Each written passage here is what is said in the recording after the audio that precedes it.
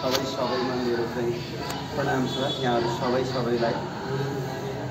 आज यो मन्दिरमा बोलाएर हामीलाई नवनिर्वाचितलाई चाहिँ स्वागत सम्मान गर्नुभयो यहाँहरूलाई मुरी मुरी धन्यवाद दिन चाहन्छौँ।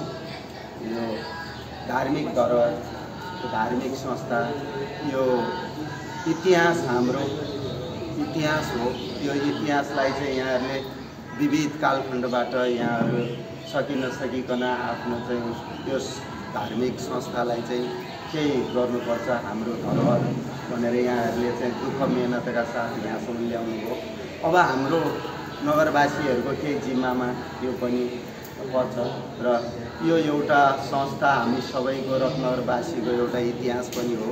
रत्ननगरलाई चाहिँ राम्रो बनाउनको लागि स्कुल मठ मन्दिर पार्टी यसै गरी नदी नाला जल जमिन सबै कुरो संरक्षण गर्नुपर्छ भनेर यहाँहरूले हामीलाई निर्वाचित गराउँदै गर्दा हामीले लागेर पुगेसम्म यहाँ हामीले गर्नुपर्ने कुराहरू हाम्रा नेतृत्व लगायत हामी पनि र हामी ओडावासीहरू ओडा लगायत ओडा अध्यक्षहरू सबै सबै मित्रहरूलाई चाहिँ मैले पनि आफ्नो तर्फबाट चाहिँ अनुरोध गर्दै यहाँहरू सबै भक्तजन शिरोमणि सबैलाई चाहिँ प्रणाम टक्राउँदै चाहिँ मेरो अन्त गर्छु। हस् प्रणाम